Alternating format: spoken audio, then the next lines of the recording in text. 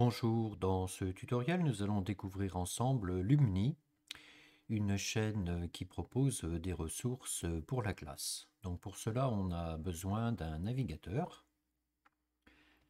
et il vous suffit d'écrire lumni.fr pour vous rendre sur le site de Lumni.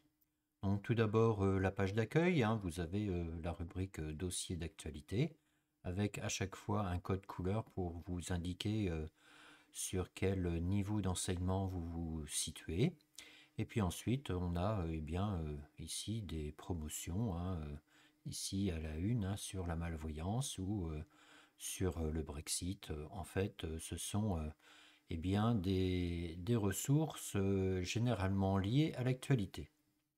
Alors, on peut y accéder également par niveau. Donc ici, si je pointe ma souris sur le niveau primaire, et eh bien ensuite, vous voyez, on a une arborescence pour ensuite un niveau de classe. Donc par exemple, vous voyez, si, je fais revoir des émissions, ici, le mini en primaire, hein, vous voyez, les vidéos sont extrêmement nombreuses, hein, puisqu'ici, j'en compte pas moins de 444. Et puis ensuite, vous voyez ici, euh, bien, vous avez différentes euh, rubriques, hein, euh, maths, etc. Donc, ben, par exemple, voyons pour le CP, par exemple, les couleurs et les nombres. Si je clique sur cette ressource, eh bien, j'ai une vidéo qui va pouvoir commencer ici. Hein. Je vais la, stopper. On a ici, si je clique sur voir plus, eh bien, le déroulé exact ici de cette petite capsule vidéo, avec également ici euh, le support de cours hein, euh, qui est au format PDF. Donc vous voyez si je clique dessus, euh, eh bien on a à la fois un visuel et puis également, voyez, des images que l'on peut reprendre hein, ensuite pour retravailler hein, avec ben, des supports qui vont vous pouvoir vous permettre d'entraîner vos élèves. Donc si on clique sur cette vidéo par exemple, eh bien vous voyez on a ici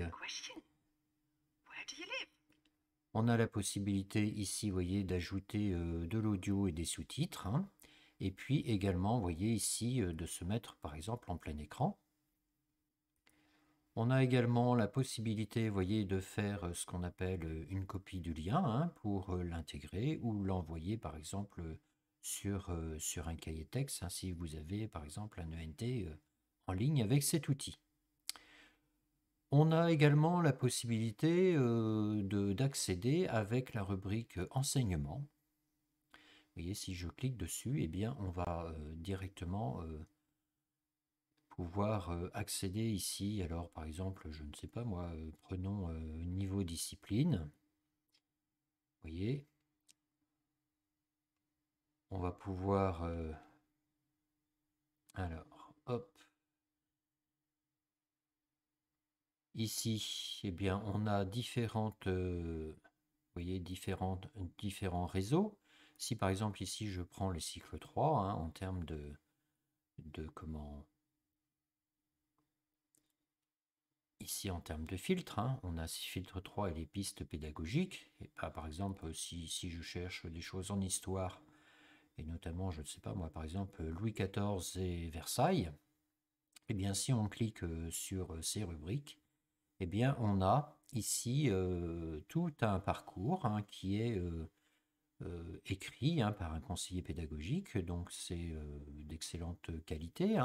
On vous rappelle la place dans les programmes, la problématique, les compétences que vous pouvez viser, et puis bah, la durée de l'activité avec la mise en route, euh, les supports, etc. Hein.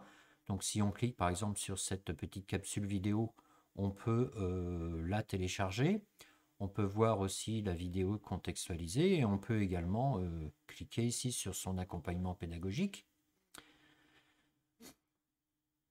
Le roi Soleil voulut Versailles à son image grandiose. Il fallut jusqu'à... Alors, ici j'ai différents outils. Hein. vous voyez, on a la, notice avec euh, ici euh, ben, à quoi correspond euh, cette, vidéo avec son contexte historique, la transcription, etc. On a la possibilité ici d'ajouter le document au classeur, c'est-à-dire que si on, est, si on est connecté avec un compte, hein, eh bien on aura la possibilité de sauvegarder, de sauvegarder toutes nos recherches et de la mettre ici dans, dans un classeur. On a la possibilité aussi, si on juge que la vidéo est trop longue ou que cette partie ne nous intéresse pas, eh bien de créer ce qu'on appelle un extrait. Et ici, on a la possibilité aussi de partager la vidéo et même de l'intégrer grâce euh, à une balise iframe euh, dans, par exemple, un, autre, euh, un autre support tel qu'un blog. Hein. Voilà.